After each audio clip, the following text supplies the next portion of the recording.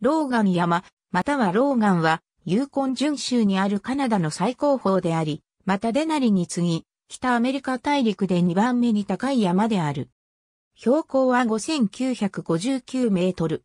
世界で最も大きな山麓を持つと言われており、しかもその山麓はすべて広大な氷河に覆われている。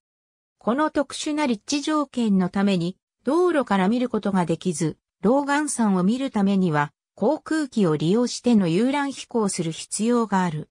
カナダの地理学者であり、同時にカナダ地質調査部の設立者でもあるウィリアム・エドモンド・ローガン教にちなみ命名された。ローガン山はユーコン準州の南西部、クルアニ国立公園、保護区内に位置する。ローガン山上及び周辺部は極寒である。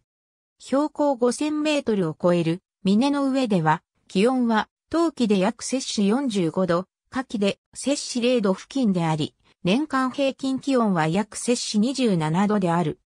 カナダ最高峰として登山家の目標となっているローガン山田が気候的に非常に厳しい地区であり、1991年には南極を除く場所で最も寒いマイナス77.5度を記録した。ローガンは5000メートル以上の頂を11個持つ。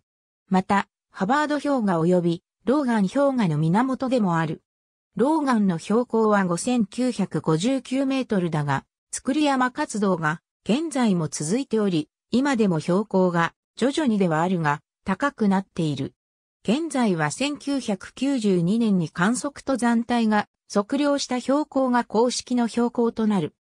1925年6月23日、アルバート・ H・ マッカーシーを隊長とするカナダ、イギリス、アメリカの登山家からなる国際登山隊が初めて登頂に成功した。2010年5月7日、岡田康氏と横山勝丘が南東壁を初登し、ルートをイトアイトゥーと命名。ありがとうございます。